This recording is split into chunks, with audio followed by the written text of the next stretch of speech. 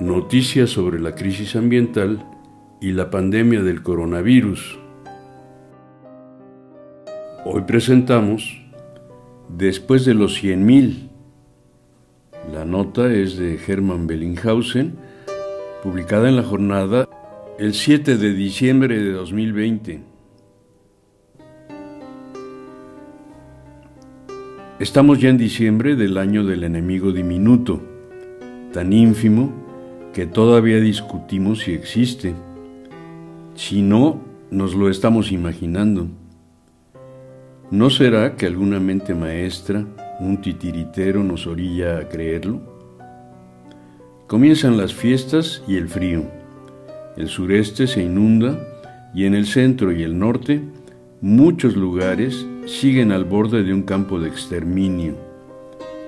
En México, como en cualquier parte, se enferma y muere de esto y de lo otro, plomo y accidentes, nervios y vasos dañados, células y glándulas anómalas que enloquecen y destruyen lo que encuentran a su paso. La diferencia de la actual pandemia no está en los totales, pero pensemos que hace un año sumaba cero.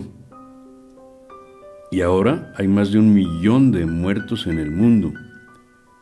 Cien mil y pico en México, con más de un millón de los 65 millones de contagiados en el mundo.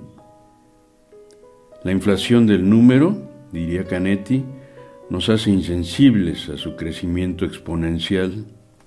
Nos mata de todos modos el sistema económico que domina el mundo de hambre y mala gordura, exceso o falta de agua, aires irrespirables, de desprecio y claro, de guerras y sus derivaciones. Padecen los heridos, los deprimidos, los que se consumen, los que se duelen, se ahogan, se les para el corazón o se les desconecta el cerebro pero más de 100.000 mexicanos han perecido de coronavirus en nueve meses. Ni siquiera es un bicho, como nos gusta decirle. Es una partícula, una metáfora del error humano o del predominio de la naturaleza. Como los fantasmas, no necesitamos verlo para saber que está ahí. Y como a los fantasmas, buscamos disminuirlo, ignorarlo, o lo acusamos de todo lo malo. Define miedos, fantasmas, comportamientos cotidianos, distancias emocionales, vidas que se esfuman, mentiras que nos tragamos. Nuestra fragilidad pone sus esperanzas en una vacuna o una cura milagrosa, en cuando la pesadilla se haya ido. La vida también está en la acumulación de los difuntos. Alguien debe tener la culpa, el gobierno, los chinos, los gringos, la fiesta de los vecinos. Pagamos así los malos hábitos del mono que habla, el animal provisto de palabra, hábitos y destrezas que han acumulado no solo conocimientos y logros técnicos, sino también armas para matarnos demasiados desperdicios indelebles en los océanos, los suelos, el aire que respiramos, la basura que todos los días consumimos. En forma un tanto perversa, enfrentar la pandemia también se ha vuelto un asunto de obediencia y control masivo. Regulaciones, limitaciones, registros, toques de queda y clausuras hasta nuevo aviso, nos ponen los nervios de punta y patéticos, nos sublevamos a la sorda contra lo inevitable, nos hacemos o volvemos tontos mientras las estadísticas progresan, se colapsan hospitales y funerarias, largas colas en las farmacias, los niños y los jóvenes se aburren de ver a los grandes desaparecer o de no ver nada salvo el tedio. La insubordinación de los más jóvenes hoy juega a la ruleta rusa. Consigo, sí, pero sobre todo con sus mayores. Por mucho que se perore en los noticiarios y las justificaciones y promesas de los políticos, lo que hay es silencio, un aire turbio, es pura presencia, incapaz de ser presentado por la palabra. ¿Pueden un virus, un fantasma, una viruta microscópica dejar huellas profundas en el mundo de los vivos? Pues sí, por lo visto y de qué tamaño. Aunque poco se hable de las secuelas. Febriles trabajan miles de personas en investigar el problema, pergeñar medidas preventivas, atender a los cuerpos enfermos dentro de sus bolsas, dosificar el paso de los sanos sospechosos, siempre de no estarlo. Caminamos por el filo, Queremos posadas, estrenos, abrazos, convivios, navidades, playas en Acapulco, compras en tumulto, rezos en tumulto. La vacuna la tenemos prometida y apartada. Constituimos el mercado cautivo del gran capital para un negocio siempre ganancioso, como las armas y las minas de oro hábitos y destrezas que han acumulado no solo conocimientos y logros técnicos, sino también armas para matarnos, demasiados desperdicios indelebles en los océanos, los suelos, el aire que respiramos, la basura que todos los días consumimos. En forma un tanto perversa, enfrentar la pandemia también se ha vuelto un asunto de obediencia y control masivo.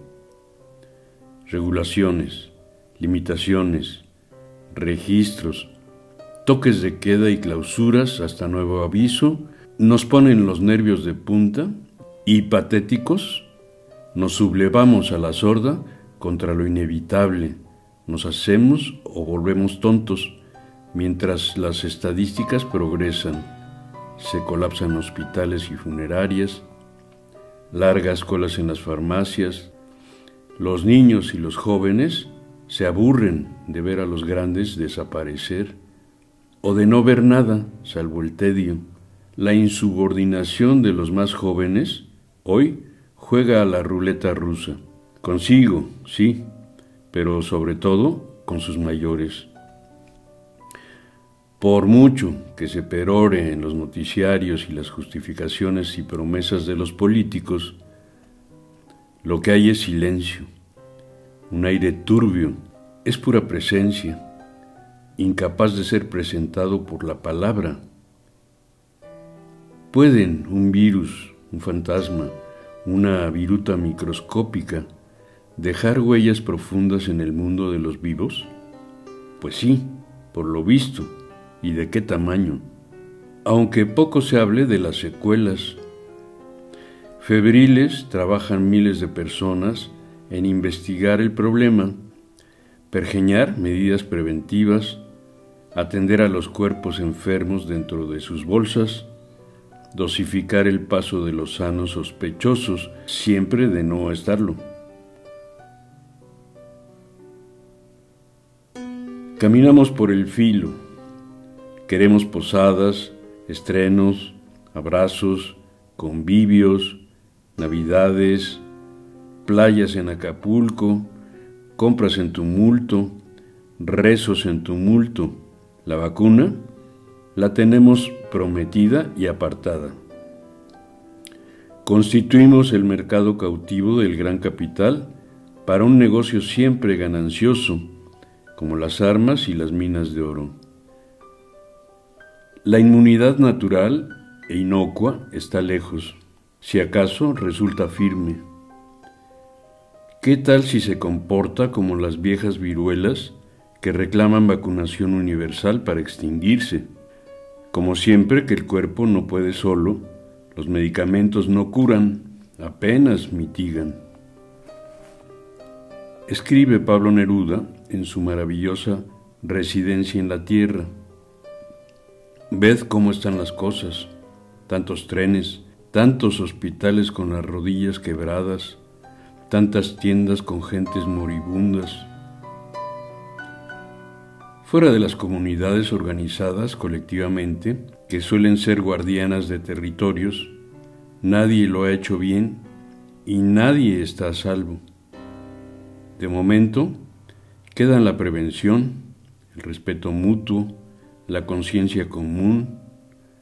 Nos podemos seguir acusando, callando, insubordinando, cansando, olvidando.